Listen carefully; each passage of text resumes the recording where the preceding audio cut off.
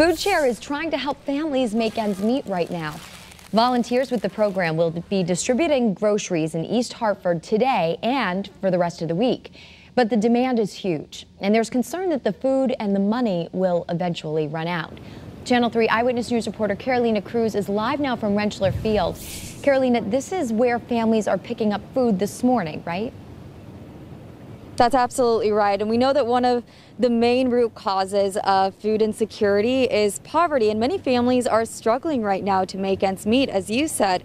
So we know that there's a growing number of people who maybe for the first time ever are asking for help with their groceries. And that's the need that Foodshare is trying to meet today and the rest of the week. So we know that families yesterday, they lined up outside of Rentschler Field two hours before distribution even started. The size of the stadium, it helped provide the space needed for social distancing for what turned out to be the largest distribution ever for Foodshare. Families received a bag with apples, onions, potatoes, and more produce to help them maintain a healthy lifestyle. With a mom of four, it is a great help. I mean, the wait was expe- uh, extensive, but it was worth it.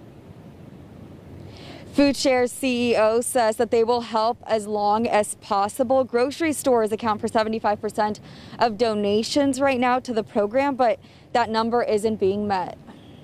We've had to purchase food. Food banks are not in the business of purchasing food. We typically get it donated to us. Foodshare is going to be relying on donations moving forward. We know that donations and distribution today it starts from 8:30 and goes until noon. That is the schedule for today and the rest of the week. And we do have a link on our app where you can uh, find out more about how you can help Foodshare stay open. Reporting in East Hartford, I'm Carolina Cruz, Channel 3 Eyewitness News.